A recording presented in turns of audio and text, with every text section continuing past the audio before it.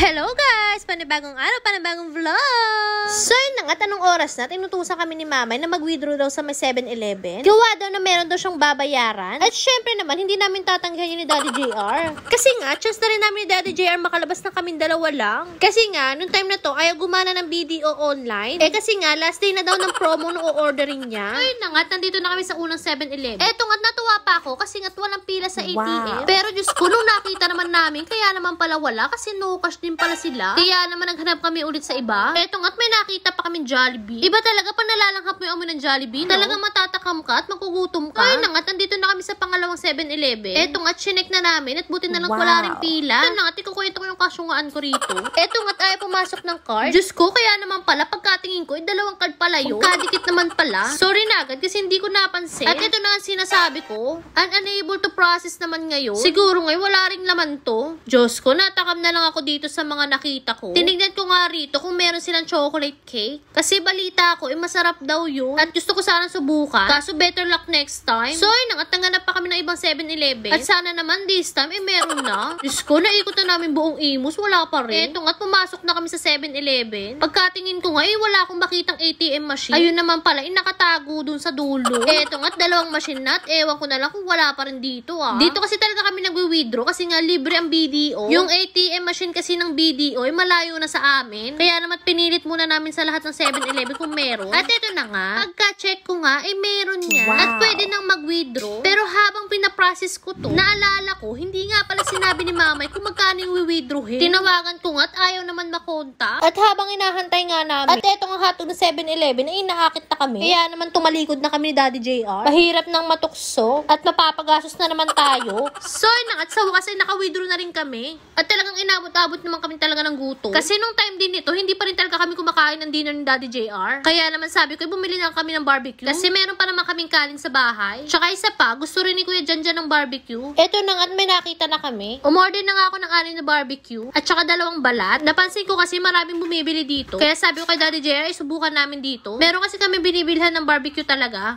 Pero sarado kasi nung time na to. Eto nga paubos ng barbecue nila. Kaya sabi ko, eh baka talagang masarap. Kaya naman paubos na. Meron pa nga isang maiiwan. Pero kinuha ko na rin. Para naman sold out na. Pero maya maya nga lang, eh naglabas pa sila ng barbecue. Akala ko naman, eh wala na. Yung pala, ang dami pa pala. So yun na nga, at habang inaantay namin yung barbecue, eh nagpagas muna kami ni Daddy JR. Baka kasi abutin pa kami ng tirik sa daan. Pagkatapos nga namin magpagas, eh binalikan na namin tong barbecue. At talaga namang napakasarap, kamoy pa lang. Pero sa totoo lang, ayoko ng usok.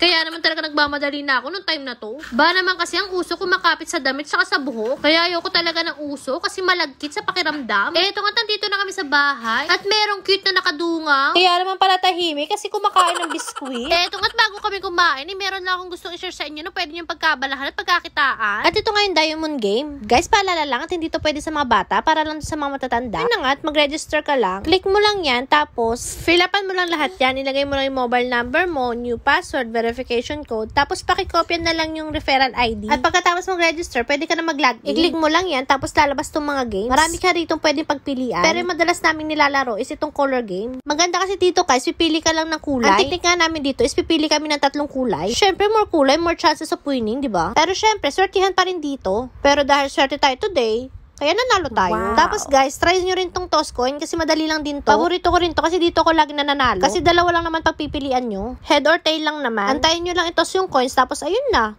Pwede ka nang manalo. Ganun lang kadali. Kung magka-cash in ka naman, pindutin mo lang tong wallet, tapos pindutin mo lang yung Gcash, mamili ka lang kung magkano yung ilalagay mo. At ayun na, pwede ka na maglaro. So yun na, at kakainin na namin tong barbecue. At buti na nga lang, at meron pa kami natirang lettuce. Kaya naman hindi na kami magra-rice. So yun lang, hanggang dito na lang. Salamat. God bless!